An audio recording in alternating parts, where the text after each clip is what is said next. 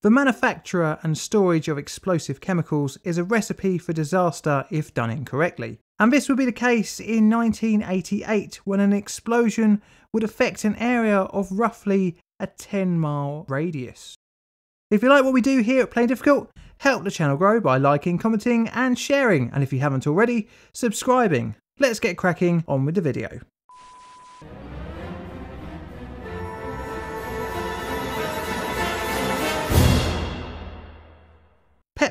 Is a word that has popped up in the comments section of several videos. Not 100% knowing what it was, I looked into a few reports on the subject and oh man, this is one big of an explosion. Oh. Today, I'm going to rate this incident here on the Plainly Difficult Disaster scale. It's scary to think that sparks from welding can cause a fire that led to an explosion and destruction on this scale. But I suppose the result is pretty obvious when the site that the fire started in was one of two major producers of ammonium perchlorate worldwide, which is a key component in rocket fuel, and we know how explosive that can be. The Pacific Engineering and Production Company of Nevada, or PEPCON for short, operated in Clark County, Nevada, approximately 10 miles southeast from downtown Las Vegas, near the city of Henderson, which is around here on a map. Oddly, the other major ammonium perchlorate producer was only under two miles away and was operated by Kerr McGee. The Pepcon plant was constructed in the 1950s in an at the time isolated desert area. However, the area would see growth in the 1970s due to the expansion of Las Vegas's metropolitan sprawl. The nearby city of Henderson in the late 80s had a population of around 50,000 people. The Pepcon facility specialised in the manufacture of oxidizer ammonium perchlorate, which was used in the Space Shuttle program, SLBMs launched from nuclear submarines, and other rocket programs. The buildings on the 8 acre site were mostly steel framed with fiberglass walls. And also randomly, the plant's next door neighbour was a marshmallow factory. The plant manufactured the AP in a four step process, starting off with the electrolytic oxidation of sodium chloride to sodium chlorate in the chlorate building. Then the electrolytic oxidation of sodium chlorate to sodium perchlorate happened, also in the chlorate building, followed by a reaction between the sodium perchlorate and ammonium chloride to produce ammonium perchlorate in agitator tanks within the process building. The final step being AP crystallization, filtration, dyeing, screening, and the blending to customer specifications in several buildings. A tragic turn of events would eventually lead to the incident in 1988, and this was the Challenger shuttle disaster. This happened on the 28th of January 1986, where the space shuttle exploded, killing all seven crew members. Subsequently, all NASA launches were grounded whilst the investigation was undertaken. This, however, left a problem for Pepcon, who now had a larger than normal stockpile of rocket oxidizer. This would end up being stored in several hundred aluminium bins and several thousand plastic barrels. The classification of AP in 1988 was a class 4 oxidizer and hadn't been detonation tested in large scale quantities, leading to a false sense of security. It was estimated that a total of £8.5 million were on the site in 1988, which is roughly around 3.8 million kilograms. The site was not set up well for storing large amounts of combustible materials. The only building to have a sprinkler system was the main offices, and no proper fire alarm was installed on site. No official evacuation plan was in place at Pepcon beyond get out if you encounter a big fire. This brings us on to the 4th of May 1988, now, there are several different theories to the initiation of the disaster, but I'm going to side with the NASA report. On the day, 77 employees were at PepCon, one of whom was mobility impaired in a wheelchair. At 11.30am, employees were repairing the plant's drying structure, which had wind-damaged steel and fiberglass segments. Sparks from a welding torch ignited some of the fiberglass. The workers attempted to extinguish the fire with a hose. Residual AP was on the structural parts of the building, and this fueled the spread. The fire continued on to reach some of the AP stored in plastic drums.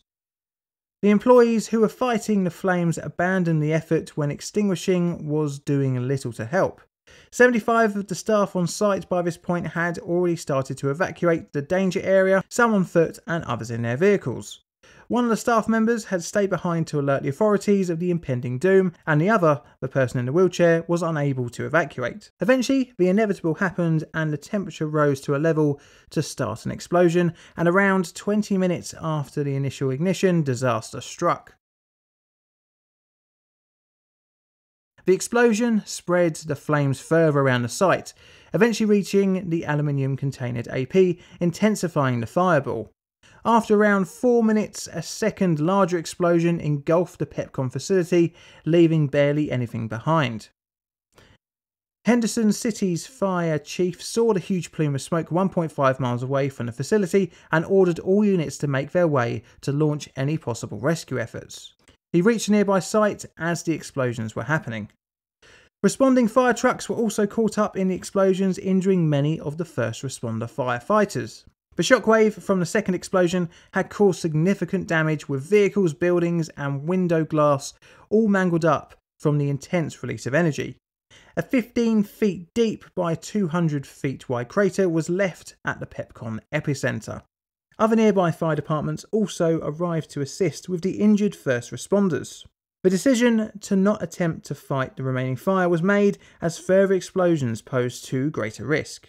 The smoke from the explosion reached several thousand feet into the air and was spread over the town of Henderson. Five more smaller explosions erupted as individual stores of AP combusted. The two main explosions were registered as 3.5 on the Richter scale all the way in California. It would be later estimated that the second explosion would be the equivalent yield of 1 kiloton of TNT, about 120th the yield of the Trinity test. The only remains of the site was a flame plume created when a high pressure natural gas line beneath the plant was ruptured during the explosions. A five mile exclusion zone was set up around the facility, evacuating all within, making use of almost every public service available, including the Henderson Police Department, Nevada Highway Patrol, Las Vegas Metropolitan Police Department, and the Nevada National Guard. Around an hour after the first explosions, it was concluded the airborne products would be a respiratory irritant but not highly toxic. Cases of respiratory issues were reported as far as 30 miles away.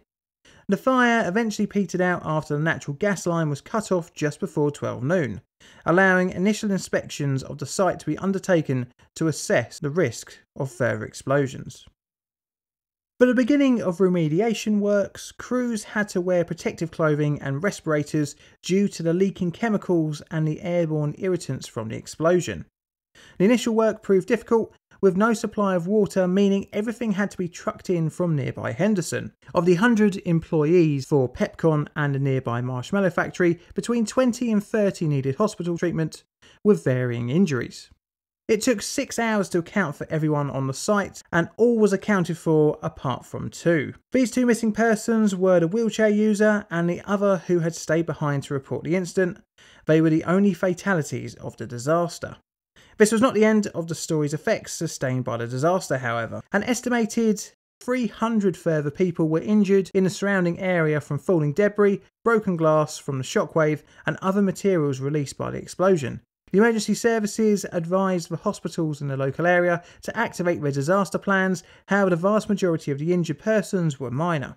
The overflow of patients led to triage being undertaken in the car park at nearby St. Rose de Lima in downtown Henderson.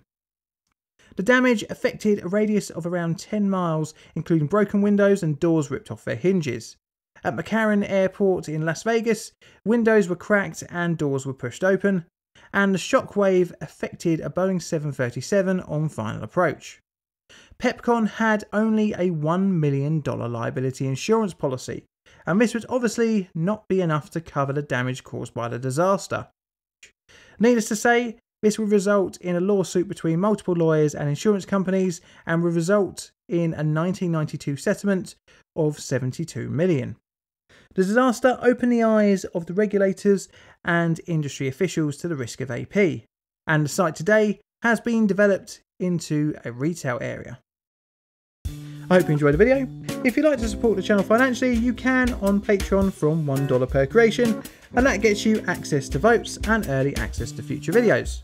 I have YouTube membership as well from 99 pence per month, and that gets you early access to videos.